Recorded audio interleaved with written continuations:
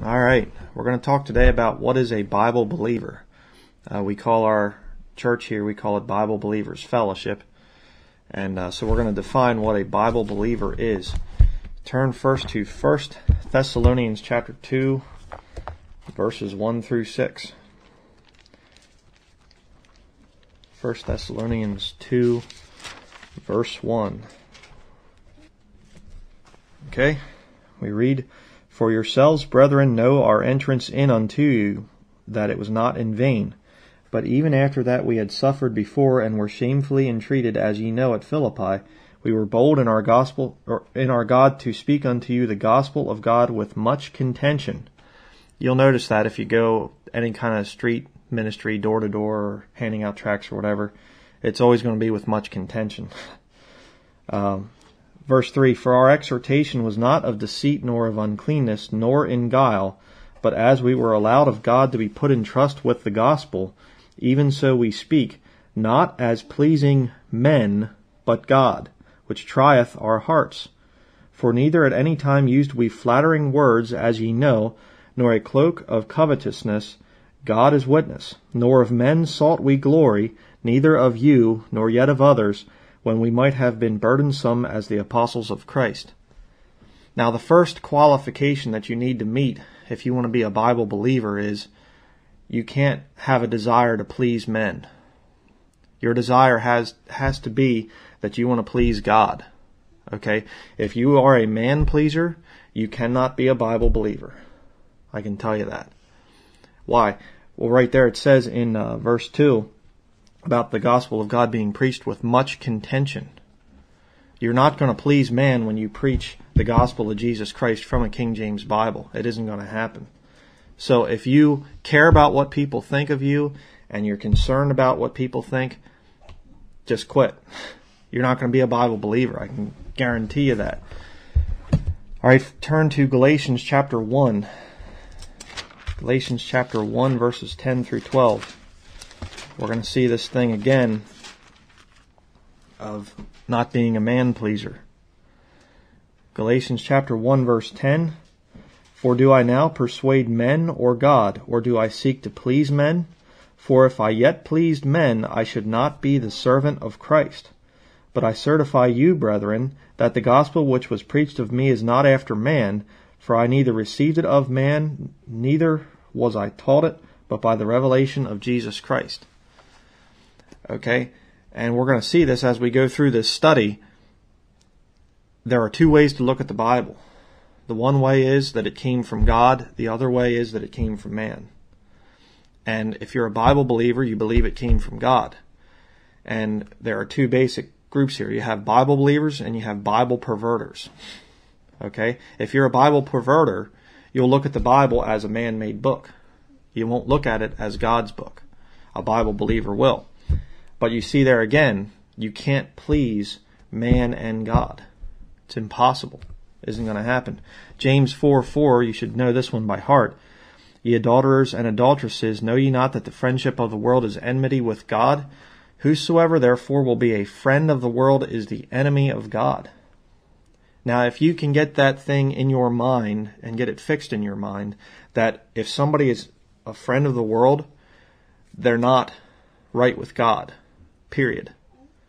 And you have uh, I have one of the books in my collection. I, I, have a lot of books that are just for documentation, and one of them is Billy Graham, uh, God's Ambassador, and it's this big, big, real big book, you know, and it has Billy Graham. Here he is meeting with this president. Here he is meeting with this ambassador, and everything else. He's a friend of the world. All these people love him, and and oh, we just love Billy Graham. Bill Clinton, you know, Al Gore. They're all good buddies with Billy Graham and then you have Billy Graham going over to Russia and basically turning in house church Christians to the KGB over there. And he did the same thing in China. Billy Graham is not, I don't, I believe he's a false prophet and a very, he's a very wicked man, very evil man. And uh, you can get uh, Cathy Burns, Dr. Cathy Burns' book, Billy Graham and His Friends, and you'll see all the documentation there. Just incredible. The connections that that guy has. He's not he's not a, a friend of God, he's a friend of the world. Okay? James 4 4, if you know that thing, it'll save you a lot of trouble. Anyhow, we're going to go next to 1 Thessalonians chapter 2. 1 Thessalonians chapter 2, verse 13. We have this on our website, uh, kjvbbf.com. This is a very, another very important verse. And this unlocks another key to the thing of being a Bible believer. 1 Thessalonians 2:13 says, "For this cause also thank we God without ceasing, because when ye received the word of God, which ye heard of us, ye received it not as the word of men, but as it is in truth the word of God." Now look at the last line, "which effectually worketh also in you that believe." You have people saying, "I can't understand the King James Bible. It's too archaic. It's this Elizabethan English and all this stuff."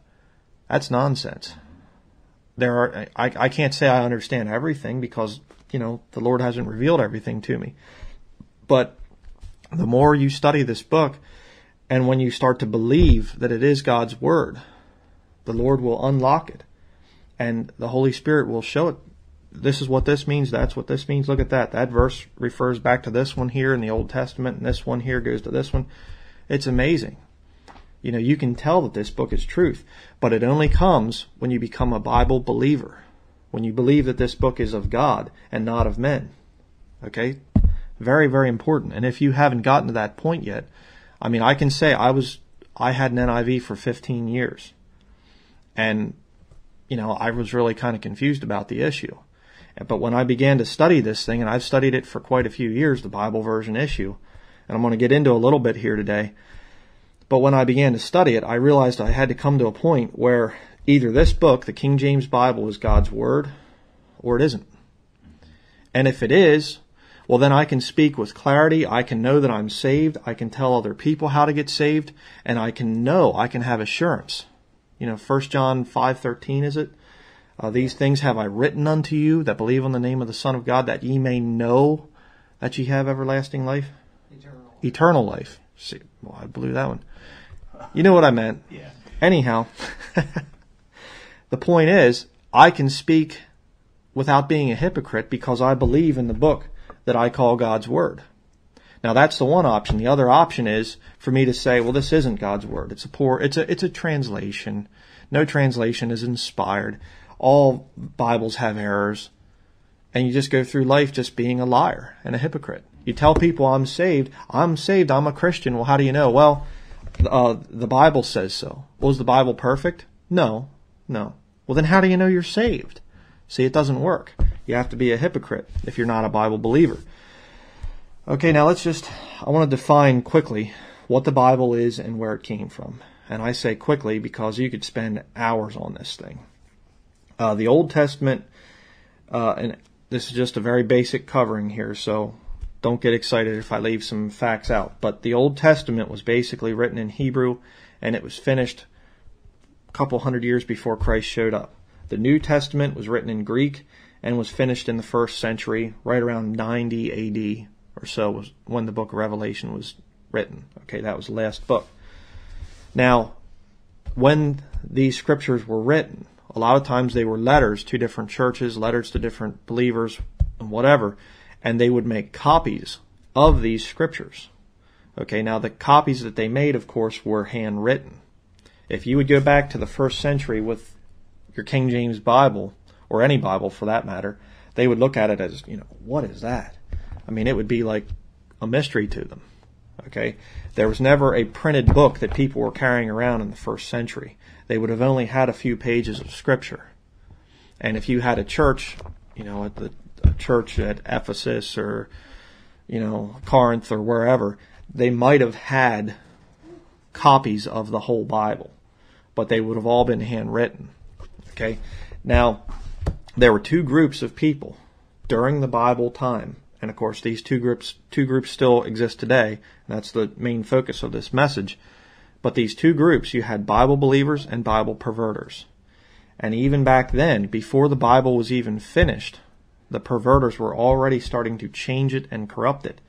Uh, 2 Corinthians chapter 2 verse 17 says, For we are not as many which corrupt the word of God, but as of sincerity, but as of God, in the sight of God speak we in Christ. So they were perverting the scriptures before they were even finished. Before John even wrote Revelation, the people back then, they were already starting to corrupt it. And Paul didn't say, we're not as a few that corrupt the word of God. He said many. So you'll see this corrupt line continuing on. We'll get into that in a minute. But look at uh, 2 Thessalonians chapter 2. Turn over there. 2 Thessalonians chapter 2, verses 1 through 3. We're going to see this thing of people perverting the scriptures again. 2 Thessalonians chapter 2, verse 1. Now we beseech you, brethren, by the coming of our Lord Jesus Christ, and by our gathering together unto him, that ye be not soon shaken in mind, or be troubled, neither by spirit, nor by word, nor by letter, as from us, as that the day of Christ is at hand. Let no man deceive you by any means, for that day shall not come, except there come a falling away first, and that man of sin be revealed, the son of perdition. But notice verse 2 there, it says, nor by word, nor by letter, as from us. They were actually forging letters and, and trying to deceive the people by making counterfeit scriptures. And you say, well, that, that, yeah, that happened back then, but that doesn't happen today, right? Wrong. Wrong. People have always had the desire, the lost have always had the desire to replace the King James Bible, to re- replace the Word of God. Okay? It's always been there. People can't handle it and they can't destroy it, so then they say, well, I gotta change it. I gotta corrupt it. I gotta counterfeit it. And of course, that definitely goes on today. So you see that there are basically two different types, two different streams of Bibles. You had corrupted scriptures being made there in the first century, and you had the true ones being copied faithfully. Okay, the pure line, basically, if you study the thing out, and again, I can't get into all the details, but Acts chapter 11, verse 26, the disciples were called Christians first in Antioch. So you had the true Christians meeting in Antioch, and they would have been making faithful copies of the scriptures. And then you had apostates, people that were lost, and they were corrupting the scriptures and and forging fake ones, basically. And if you study the thing out, a lot of that was going on in Alexandria, Egypt.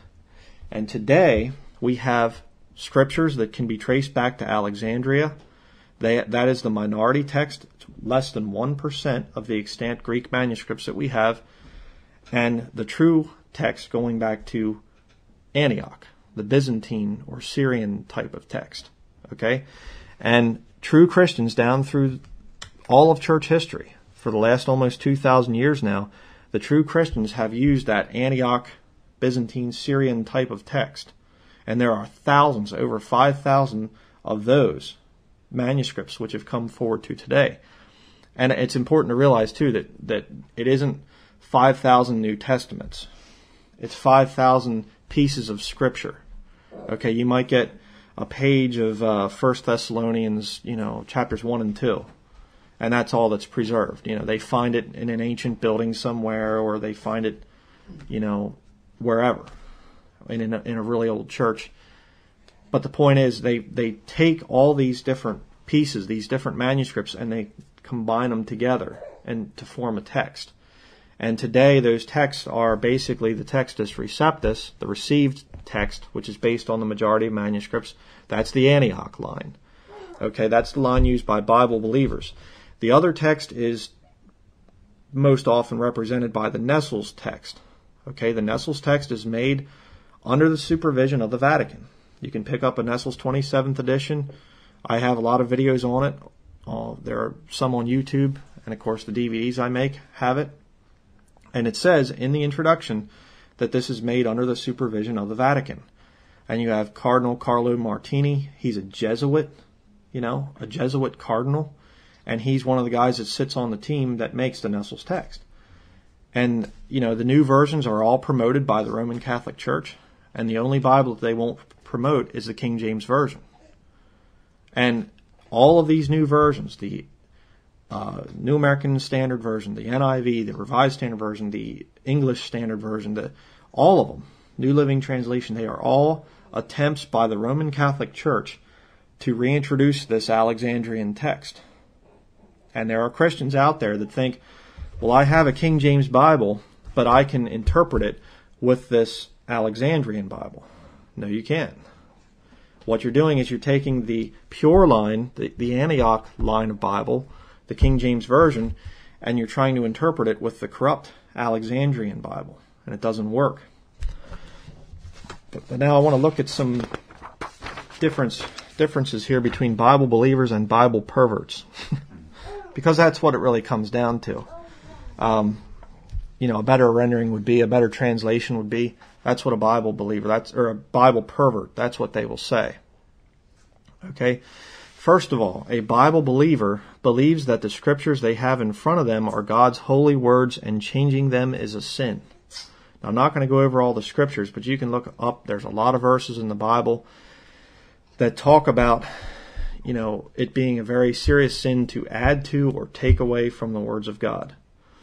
And again, I can't get into all this, but you can study the actual writings of these people who make the new versions.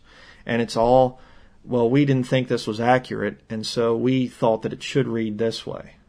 The King James translators, 54 of the most intelligent men that have ever lived, uh, they were very careful to get the King James Version as close to Hebrew and Greek as they could.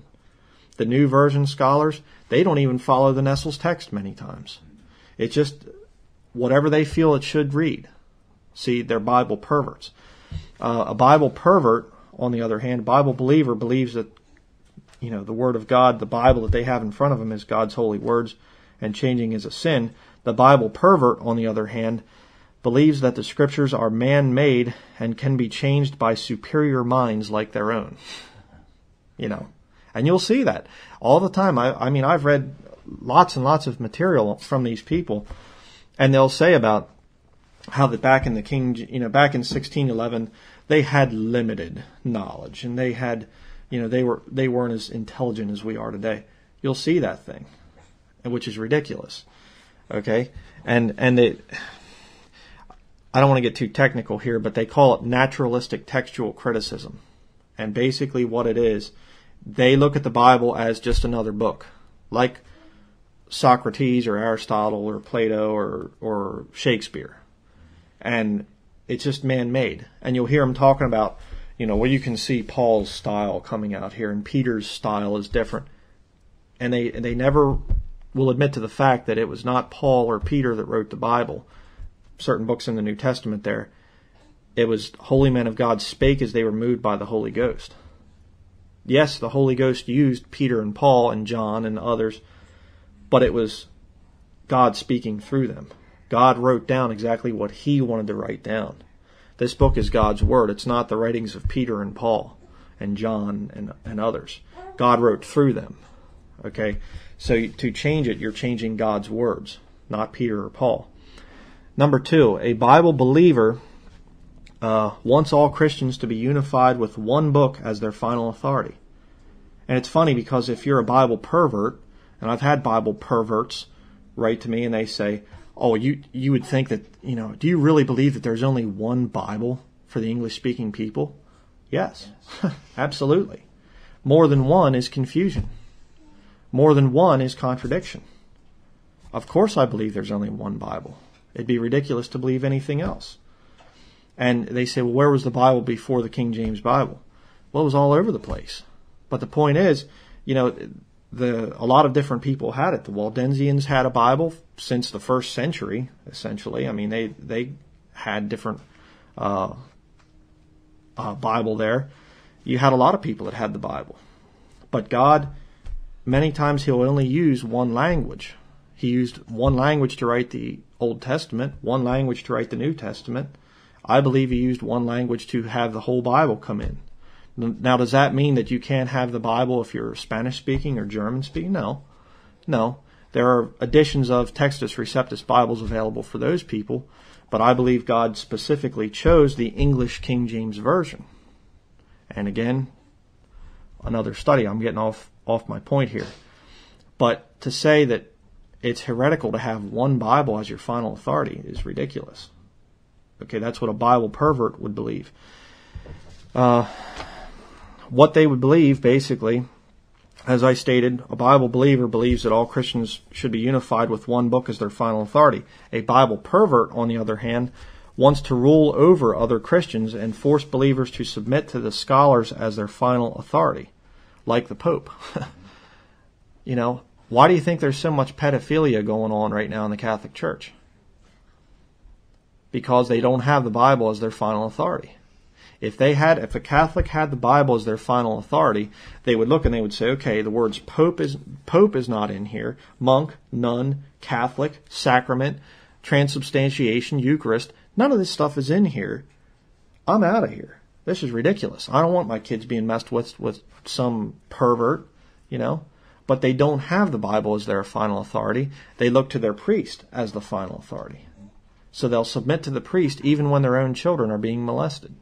It's disgusting. But that's the natural result of not believing in the Bible as your final authority and holding men and tradition above the Bible. And, you know, it's not just Catholics. There's a lot of Protestant, quote unquote, that have that same philosophy. It's the pastor, it's the seminary, it's the Bible college. They're the final authority, the scholars, you know, not the Bible. Uh, let's turn to Revelation chapter 2. You know, there's some scriptures. If you want to do an interesting study, look up some scriptures where that, that say about God thinking that something is an abomination or something that God hates. And you better pay attention to those scriptures. Uh, Revelation chapter 2, verse 6. Here you have God speaking to the, the seven churches. And he says here, But this thou hast, that thou hatest the deeds of the Nicolaitans, which I also hate. Oh, God doesn't hate anything. God loves everything. Wrong. there are some things that God hates. Okay? And there's one of them. Now, what is the deeds of the Nicolaitans? Well, if you study it, a Nicolaitan is somebody who seeks to rule over their fellow man and keep their fellow man down. You know, that's what a Nicolaitan is. And God says that He hates that. You know what God thinks of the Catholic Church with all their system and everything like that? People going up and kissing the, the ring on the hand of the Pope? It's disgusting. And you know what God thinks? Well, according to Revelation 2 6, He hates it. You know what God thinks when a Christian submits to the teachings of somebody who has a PhD or a THD or whatever and doesn't question them and will actually believe their word over the Bible? That guy's a Nicolaitan. You have Catholic popes and you have Protestant popes. They're both there. Now look over at uh, verse 15 and 16, Revelation 2, verse 15 and 16. So hast thou also them that hold the doctrine of the Nicolaitans, which thing I hate. Repent, or else I will come unto thee quickly, and will fight against them with the sword of my mouth. That's kind of interesting. The church uh, there, the angel of the church of Ephesus, they hated the deeds of the Nicolaitans. But over here, the, the believers in Pergamos, they had the doctrine of the Nicolaitans. And God told them that they needed to repent of that. You know, and he said, if you don't, I'm going to fight against you with the sword of my mouth. And you study that thing out sometime. What is the sword of his mouth? It's the word of God. See, the Bible's the standard. All right. Uh, now, number three, a Bible believer has assurance of salvation because it is because of the written record God has given them. I talked about that earlier, 1 John 5:13. Uh, I'll just read it again because it's good to remember it. These things have I written unto you that believe on the name of the Son of God, that ye may know that ye have eternal life, and that ye may believe on the name of the Son of God. You can have confidence that you are saved and that you know how to tell other people to get saved if you're a Bible believer. Okay? Uh, a Bible pervert, on the other hand, is never sure of anything and spends all of their time questioning and searching for truth. and you'll see that. I knew a Bible pervert that was a pastor. He had 60,000 books in his collection. 60,000 books. And yet he couldn't come to the simple faith in believing in the book that he preached from. That's phenomenal. And that guy, every sermon, he'd be up there and he'd be preaching, you know, quote unquote, preaching from the King James Bible, and he'd correct it, and every time he corrected it, it was with NIV type readings. See, he was a Bible pervert. And, you know, you'd think, well, 60,000 books, he'd be able to come to the truth. No, because he's a pervert, okay? And I don't mean that, you know, sexually, I mean that he's a pervert when it comes to Scripture. Turn to 1 Timothy chapter 6. 1 Timothy chapter 6 verse 3.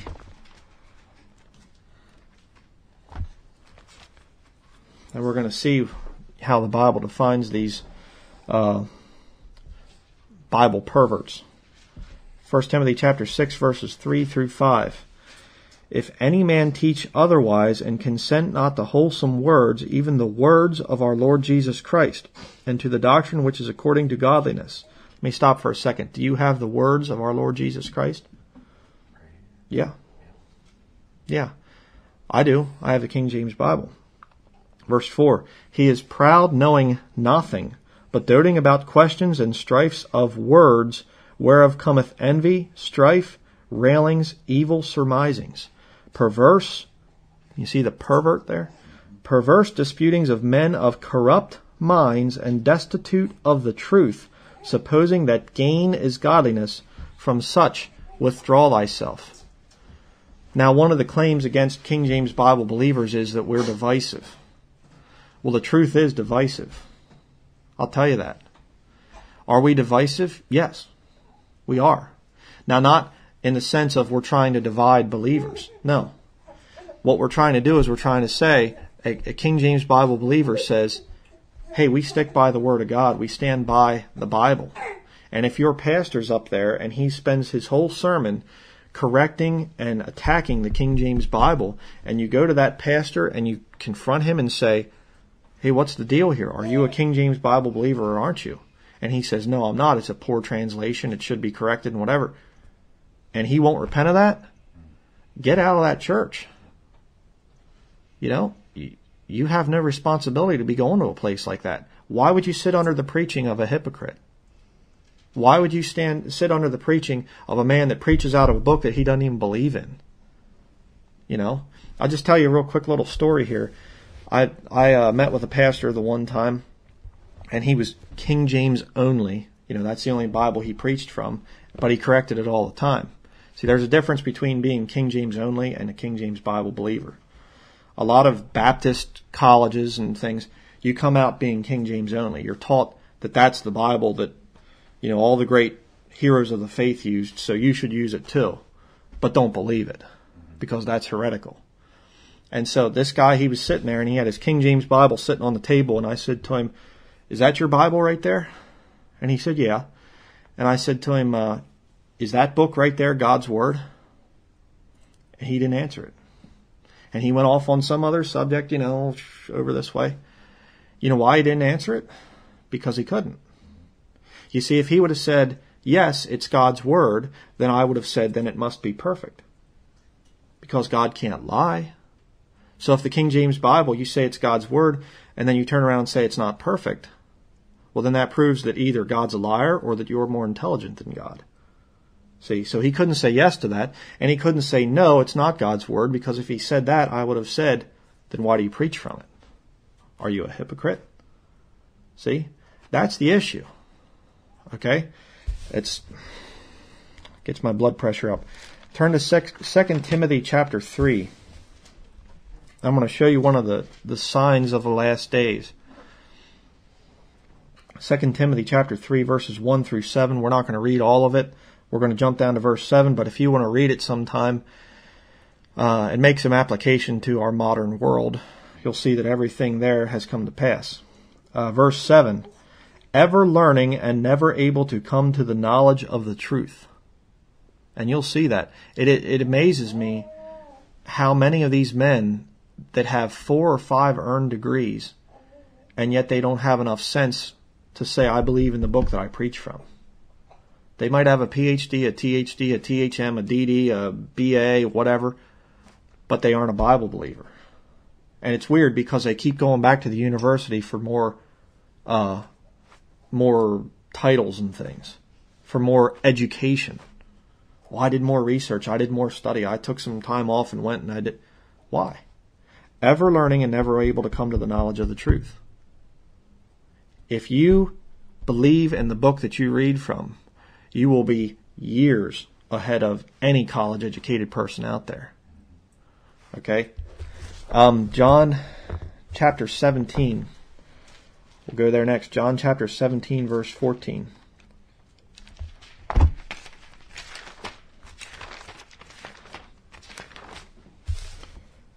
John 17, verses 14 through 19. Now, this is very important here. It says, I have given them thy word, and the world hath hated them, because they are not of the world, even as I am not of the world. You know, if people hated Jesus Christ, what makes you think that you're going to be able to get along with the world? It isn't going to work. Verse 15, I pray not that they, that thou shouldest take them out of the world, but that thou shouldest keep them from the evil. They are not of the world, even as I am not of the world. Sanctify them through thy truth. Thy seminaries are truth. Is that what it says? Thy Bible college education is truth. No, it says thy word is truth. Do you have that word today? Well, no, I don't believe any translation is inspired. I don't, I don't, you know, and by the way, if you want to hear a good message on that, we have one there um, on on that on our website. You can listen to that. Defense of the King James version being an inspired translation, uh, but we have the Word of God today. If you're a Bible believer, anyhow, you can believe that. Now, if you're not a Bible believer, well, what assurance do you have of anything? You know, better keep looking for the truth. Uh, verse 18, As thou hast sent me into the world, even so have I also sent them into the world, and for their sakes I sanctify myself, that thou, or that they also might be sanctified through the truth. You know what will keep you from getting in trouble? This book, King James Bible. You know what will keep you from getting messed up doctrinally? The book oh, well, I can pray about it and I can I can kind of go with a feeling there. Yeah, like the Mormons. Mm-hmm. Like the Mormons. You know, get a burning bosom or whatever they say. See? I mean, what are you basing your truth on? If it's not based on the King James Bible, you're going to fall for anything. You know, just incredible. All right, I found my place here. Uh, some things I want to go over quick. Uh, people say, what does the Greek say? You know, what about the Greek? Well, the Greek is, is where we need to concern ourselves. And I just want to go over some points that you need to consider before you fall for this, what does the Greek say? You know, if you want to think that Greek is superior to English, which it isn't. Uh, number one, all Greek texts are compiled from multiple copies and pages of Scripture. There was never a book on this earth that contained all the original autographs. No book ever existed like that. Okay, when they were quoting Old Testament, Hebrew Old Testament in the New Testament, they were copies of copies of copies. They weren't quoting original autographs. Number two, over 99% of all ancient pages of Greek scriptures line up with the King James Version. The various editions of the Textus Receptus are compilations of these ancient copies. Okay? Over 99% line up with the Antioch line, the Syrian line. Number three, most of these manuscripts are later in their date because they came from the Bible believing crowd, which actually used them to evangelize people. Okay? They, that's one of the attacks on the King James Version, on the Receptus. They'll say, well, they're just late, late manuscripts. Well, yeah. Because our, the Christians, the line that we come from, if you're saved, we were using them. I mean, how many of you are using a Bible that's 200 years old? You know? I mean, if you have a Bible that's 15 years old, it's probably having trouble. I mean, my Bible's not even 10 years old yet, and I already got duct tape on it, you know, here and there. I mean, it's, you know, there's an old statement, a Bible that's falling apart is belong, belongs to somebody who isn't, you know, and there's a lot of truth in that. Uh, number four, the, the minority text from Alexandria is based on less than 1% of the ancient Greek manuscripts. These manuscripts are old because they are from the Bible pervert crowd and were not used oh, well, we have Vaticanus and Sinaiticus, Codex B, Codex Aleph, and all oh, there's in such goods good condition and everything. Yeah, because they're they've been held by the Roman Catholic Church. They aren't going to use them to evangelize anybody. Number five, uh, the fifth point to consider on the on this the Greek thing. Uh, the later editions of the Nestle's text had to be updated in over 400 places to read like the King James Version Receptus, uh, because ancient papyrus manuscripts were found that contained readings which Vaticanus and Sinaiticus removed. Now that's something a lot of people don't understand either. The later editions of the Nestle's text actually had to be changed in over 400 places to read like the King James Bible. And yet, guess what?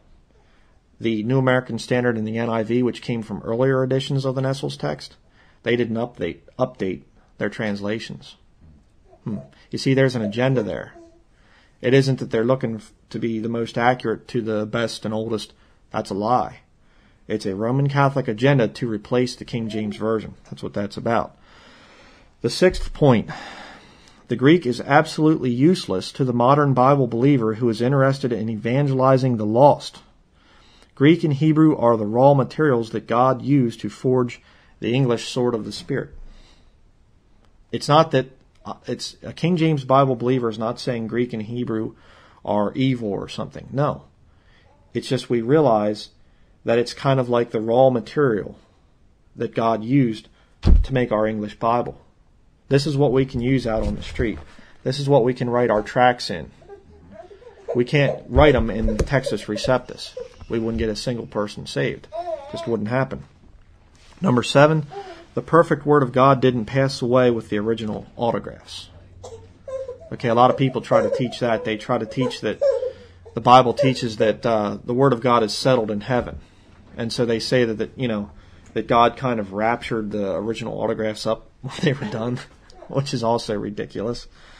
Uh, but uh, we won't go there for sake of time. But Revelation six nine talks about tribulation saints being killed. They were slain for the word of God. Now, how's that possible? If God's perfect word does not exist. See, God's word does exist, and it's lowercase w, by the way. That's another big distinction you got to make in the Bible: capital W versus lowercase w. And a lot of these apostate Bible perverts will actually talk about the perfect word, and they'll capitalize it. See, they're covering up for their sins.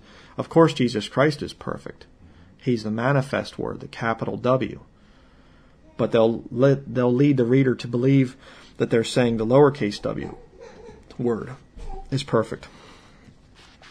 Okay, now let's look at one other thing here, and that is the thing of lost versus saved. One other attack that you'll hear a lot on the King James Version is how can we evangelize the lost when the lost can't understand the King James Bible? They'll say that, you know, I know unsaved people and they can't understand the King James Bible, so it's no good. Well, I got to tell you something. The King James Bible was not written for the lost. It's written for saved people. Okay, turn to 1 Corinthians chapter 2. 1 Corinthians chapter 2 verse 12.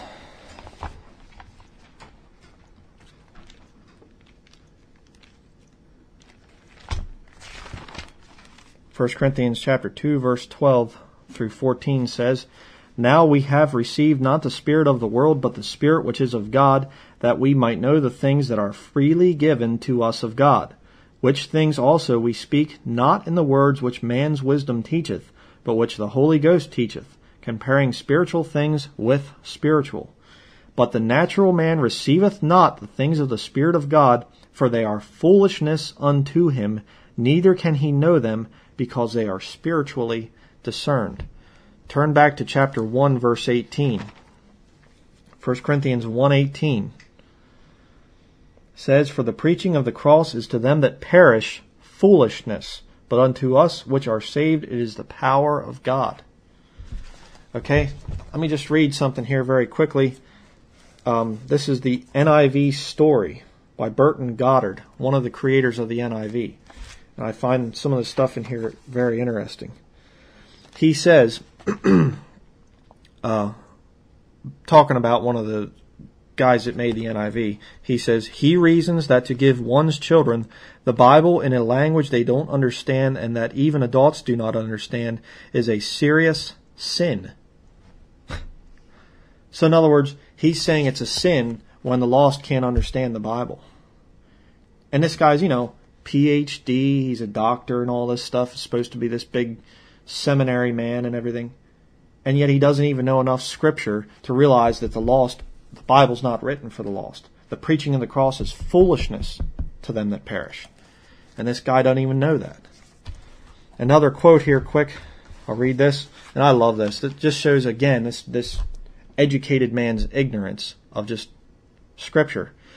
They made the NIV, and then they actually went to a high school with lost kids in it, and they let them read it. And here's what one of the lost kids said.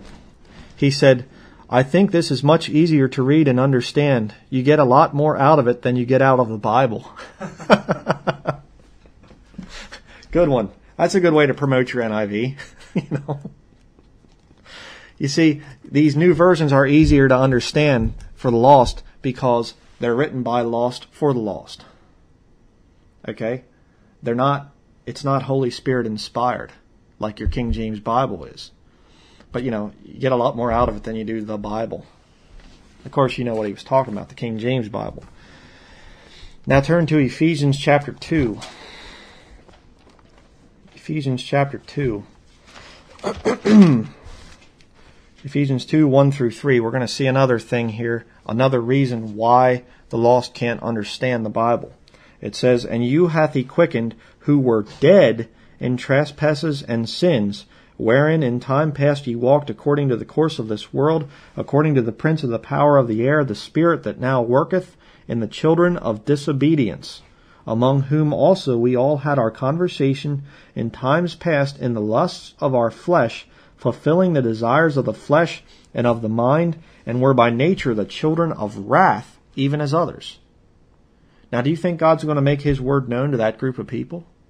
No. They're dead in trespasses and sins, verse 1. Oh, but they can't understand the Word of God. Yeah. Yeah, because they're dead spiritually.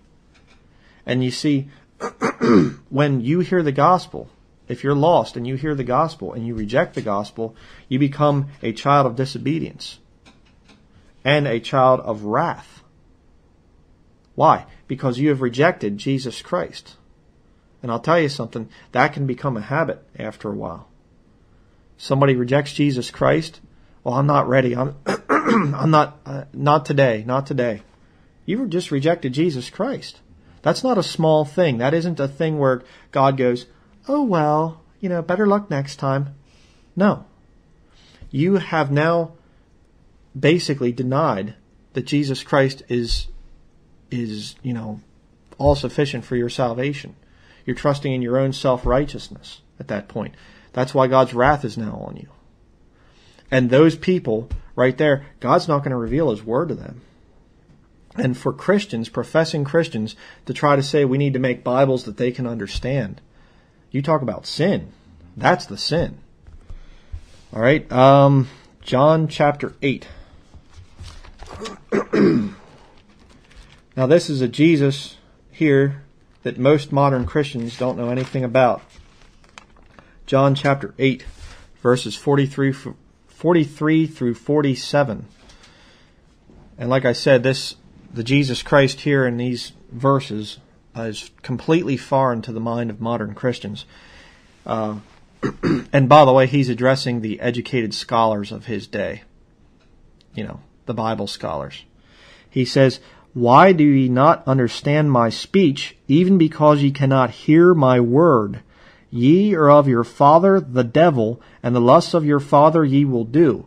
He was a murderer from the beginning, and abode not in the truth because there is no truth in him.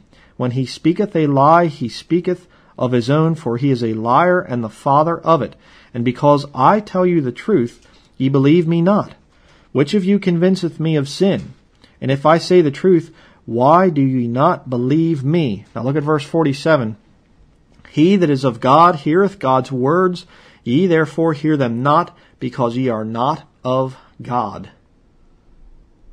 plain, simple truth coming from the mouth of God manifest in the flesh, the Lord Jesus Christ. And that's that's the way it is, right there. I can't understand the King James Bible. Well, if you're saved, you can understand the King James Bible if you start to believe it. But if you get somebody that's lost, well, I can't understand the King James Bible. Right there's their verses. You know, they're a child of wrath, they're a child of disobedience. So they're not going to understand the King James Bible. And to try to dumb it down so that they can is a sin. now, turn to Proverbs chapter 3. Proverbs 3, verse 5. And we're going to see now for the saved what is the key to understanding. Because, you know, when I was using an NIV, I, I started to, I gave it up and I started using the King James Bible. And at first it was kind of strange and it kind of read differently. And I thought, you know, I'm kind of having a hard time understanding it. So I'm going to show you some of the keys to understanding the Word of God. Proverbs chapter 3 verse 5 through 6. Trust in the Lord with all thine heart and lean not unto thine own understanding. In all thy ways acknowledge him and he shall direct thy paths. Okay? Don't lean on your own understanding.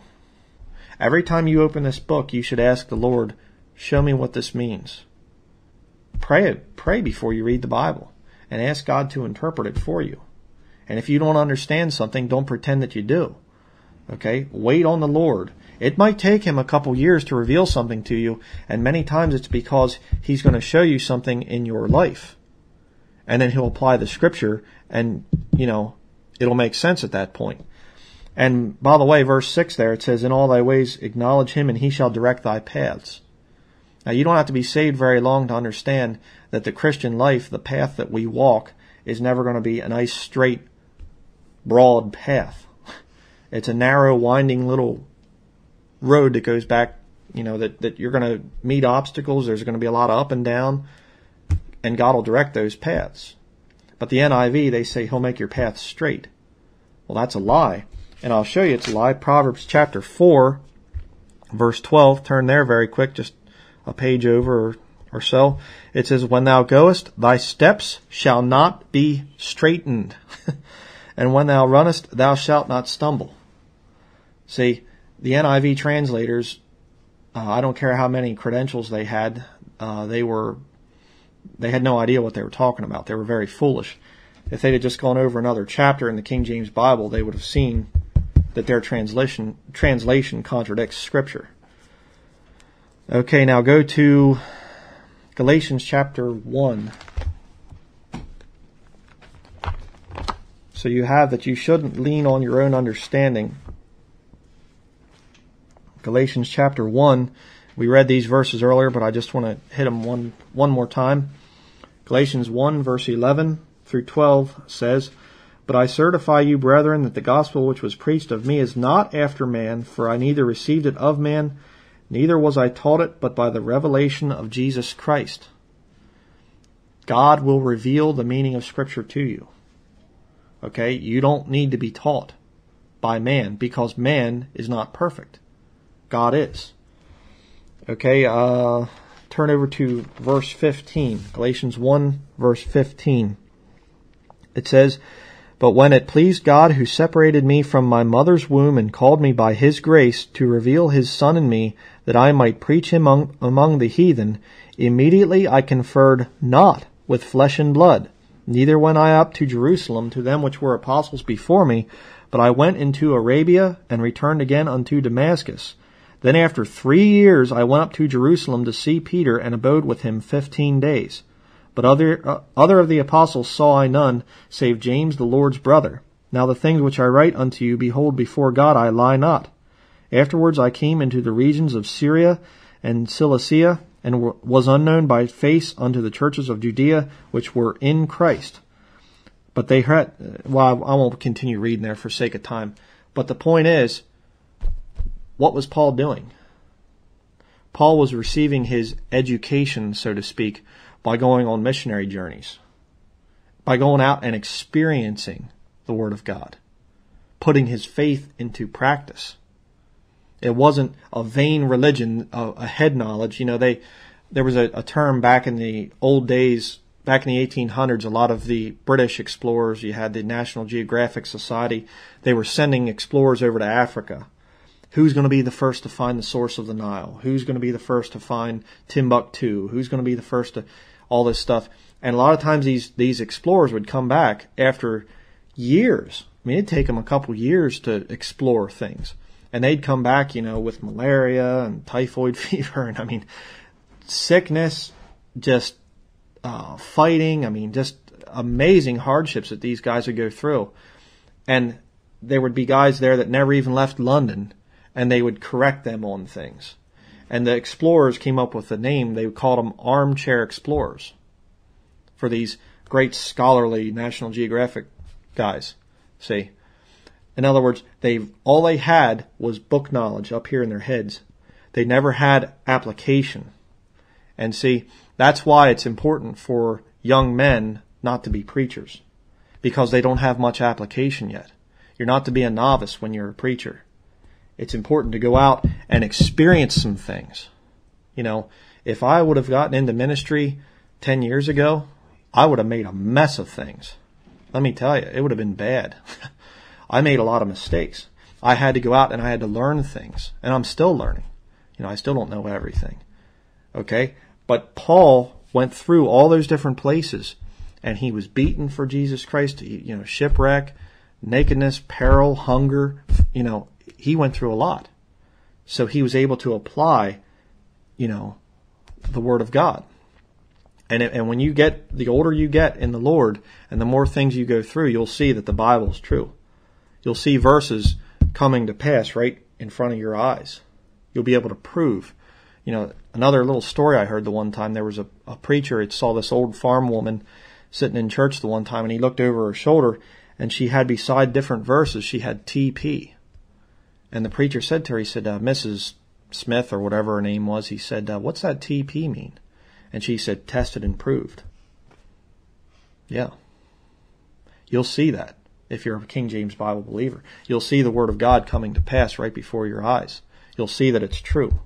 Sanctify them through thy truth. Thy word is truth. You'll see that. Okay, now go to John 16, 13. John chapter 16, verse 13. And here we have the manifestation of the Holy Spirit. One of the ways that you can tell somebody really truly got saved and the Holy Spirit's in them is John 16 verse 13. It says, Howbeit, when he, the Spirit of truth, is come, he will guide you into all truth. For he shall not speak of himself, but whatsoever he shall hear, that shall he speak, and he will show you things to come. Okay, remember, sanctify them through thy truth. Thy word is truth. You will have a love and an appreciation for this book if you really truly got saved and if the Holy Spirit's in you. All right, James chapter 1. Go back there quick. James chapter 1. And you'll notice too if you're if you're new to this ministry, you'll notice that when we do messages, we try to use a lot of scripture. That's because we understand and confess here that our understanding is deficient. and it's the Bible that we try to, you know, get our truth from. And a lot of times I've seen preachers and they'll stand up there and it's almost like they're having a contest to see how long they can go without actually turning in their Bibles.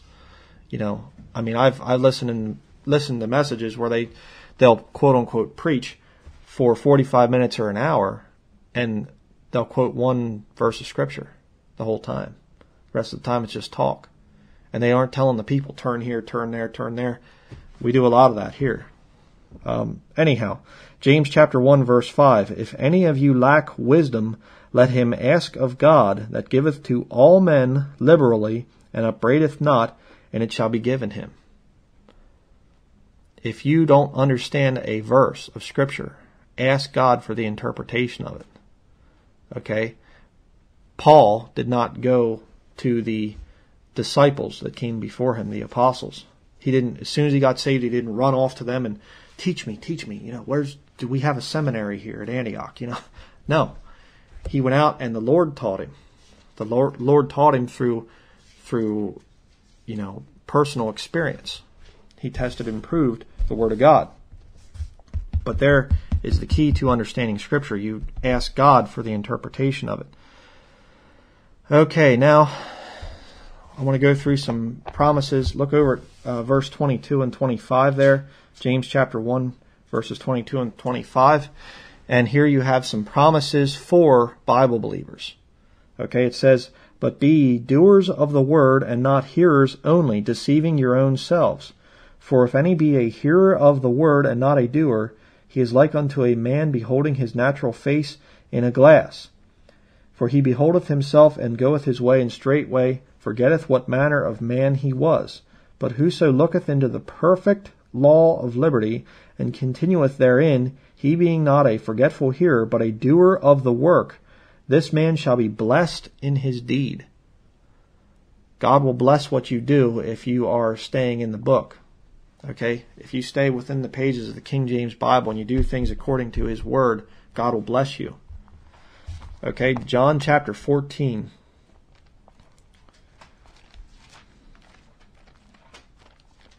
John chapter 14, verse 15.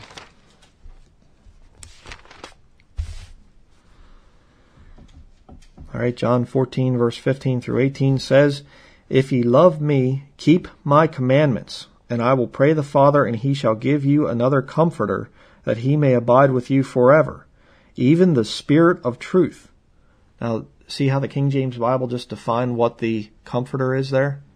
Even the Spirit of truth. That's one of the ways you see it defining it. Okay, it says, Whom the world cannot receive, because it seeth him not, neither knoweth him. But ye know him, for he dwelleth with you, and shall be in you. I will not leave you comfortless, I will come to you. The Holy Spirit is not available to the lost world. Bible says there's no peace to the wicked. They don't have the comforter. You do if you're a Christian and you stay by the word of God. Look at verse 23 quick. It says, Jesus answered and said unto him, If a man love me, he will keep my words and my Father will love him, and we will come unto him and make our abode with him. Look at uh, chapter 15, verse 7. If ye abide in me, and my words abide in you, ye shall ask what ye will, and it shall be done unto you. You want answers to prayer? Abide in the Word of God. And you don't want to know why that's so important?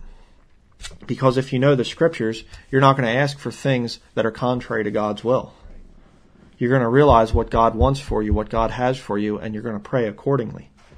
But if you're not in this book, you're going to pray for all kinds of stupid things, and then you're going to get upset because God doesn't answer your prayers. See? But I just want to make a comment too on verse 23. It says, If a man love me, he will keep my words. Don't tell me you love Jesus Christ and then turn around and attack the King James Bible. I'm sorry, you're not going to deceive me that way. Well, I stand for the NIV. I stand for the New American Standard Version. That rotten old King James Bible. You don't love Jesus Christ. Don't give me that. You can't love Jesus Christ and hate the King James Bible. It can't happen. I mean, unless you're totally ignorant. You know, I mean, totally ignorant. But if you, you have these people like James White and many of these other guys that know the Bible version issue, that write against King James Bible believers, and then they turn around and say they love Jesus Christ, that's nonsense. I don't believe that for one second. Okay? Uh, now, let's close this message up here with some warnings for Bible perverts. Okay? If you're a Bible pervert and you've made it this far in the message, then I have some warnings for you. Luke chapter 9. Luke chapter 9, verse 26.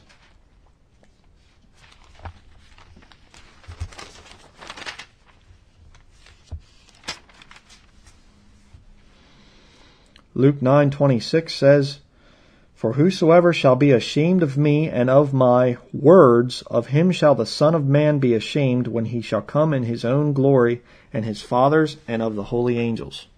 Are you ashamed of the King James Bible?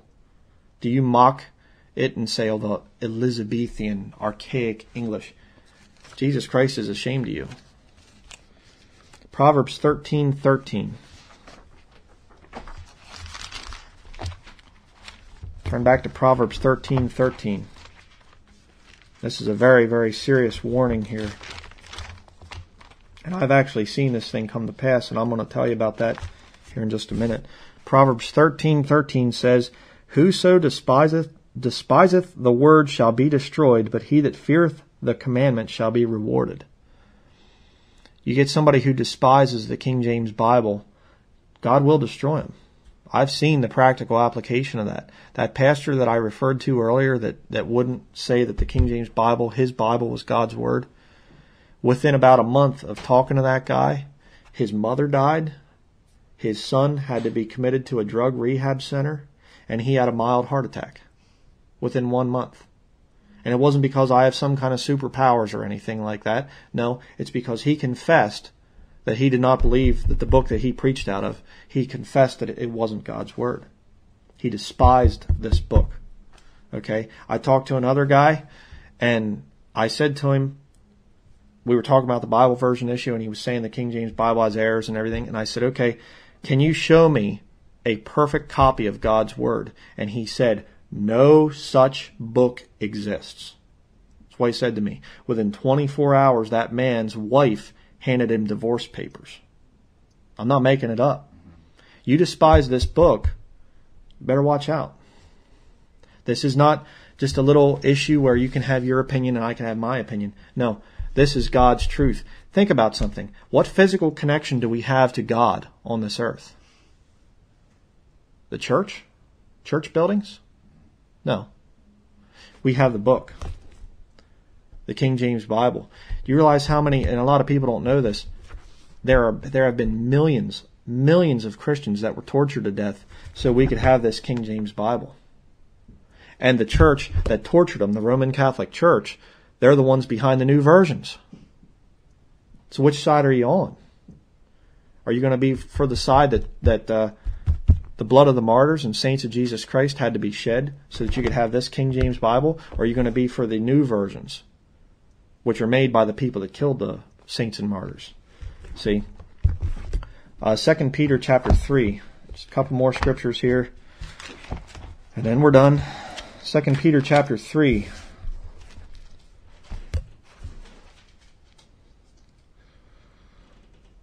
Verse 16.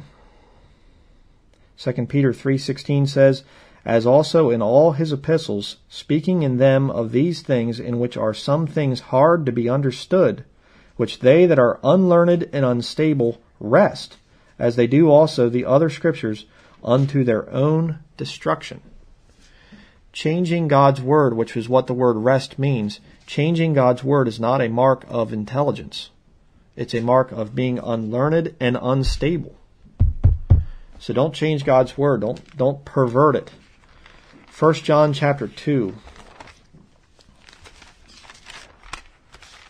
1 John chapter 2, uh, verses 4 and 5 says, He that saith, I know him, and keepeth not his commandments, is a liar, and the truth is not in him. But whoso keepeth his word, in him verily is the love of God perfected. Hereby know we that we are in him. The way you know that you're saved is if you keep God's word. Revelation chapter 22. It's the last place we're going to turn to. Revelation chapter 22, verses 18 through 21. It says, For I testify unto every man that heareth the words of the prophecy of this book, if any man shall add unto these things, God shall add unto him the plagues that are written in this book. And if any man shall take away from the words of this book, of the book of this prophecy, God shall take away his part out of the book of life and out of the holy city, and from the things which are written in this book. He which testifieth these things saith, Surely I come quickly. Amen. Even so, come Lord Jesus. The grace of our Lord Jesus Christ be with you all. Amen. So there at the very end of the Bible you have the very last warning being against perverting the scriptures. So you're going to have to make a decision. Now that you've listened to this message, you have a decision to make. Are you going to be a Bible believer and line up with the Bible that God uses, the King James Bible? God has used this thing for over 400 years through the lives of believers. Now, are you going to use that one or are you going to side with the Roman Catholic Church and use their Bible, which they can't even get it straight? they've come out with 200 of them, over 200 of them, and they keep coming out with more and more and more. So you have a decision to make Bible believer or Bible pervert. And uh, I just want to close here by reading the lyrics to a song. I have some friends online that uh, they have a little bluegrass band. They're from Kentucky, I think, and they wrote a song called "It's Just a Book." And uh, I was going to try to play it, but the recording quality isn't the greatest uh, because it's a live recording, and it was somebody out in the crowd with a video camera, so you know the speaker doesn't pick it up all that great. But you can see it on YouTube. Uh, Seminole String Band. Just look for that. And they have a song called "It's Just a Book." And uh, I'll just read lyrics here very quickly, and then we'll finish this up. It says, When I look around and see the blessings of this country, it's plain to see how good the Lord has been. But I hear, but I hear some people say, Put that old black book away. And then I just remind them once again, It's just a book that saved me from damnation. It's just a book that cleansed me from my sin. It's just a book that founded this great nation, and it's our only hope to get her back again. And the King James Bible, by the way, is the only hope for America. Are they going to accept it? No but it is the only hope. Uh, they don't want God's gift to man because they don't like my King James Bible. They don't care to hear what Jesus Christ has done. They speak with such such conviction and condemn us, condemn us with such hatred. But just show the book and man just watch him run. It's just a book. Why are you running? It's just a book. Why do you get so mad? It's just a book. Why do you get so nervous? it's just a book that knows every thought you've had. If you look, excuse me, if you open up this book into your heart, it takes a look and it shows you exactly what you are. From the pages there within, it points out your every sin. It discerns the thoughts and intents of your heart. It's just a book that showed me full salvation. It's just a book that read my title clear. It's just a book that gave me the victory. It's the Holy Bible that I hold so dear. It's just a book that saved me from damnation. It's just a book that cleansed me from my sin. And it's just a book that founded this great nation. And it's our only hope to get her back again. So that's the song there. And that really kind of sums it up. And you'll see that if you are a Bible believer, you will see that this King James Bible makes people nervous. So you're going to have to make a decision. Get on one side or the other. That's it. Let the elders that rule well be counted worthy of double honor, especially they who labor in the word and doctrine. For the Scripture saith, Thou shalt not muzzle the ox that treadeth out the corn, and the laborer is worthy of his reward. If these sermons or videos have been a blessing to you, please help us to continue this work by supporting this ministry. You can send a check payable to Bryan Denlinger to King James Video Ministries, P.O. Box 300. Bradford, PA 16701. Or you can donate online through PayPal at our website www.kingjamesvideoministries.com. Thank you, and may the Lord Jesus Christ bless you.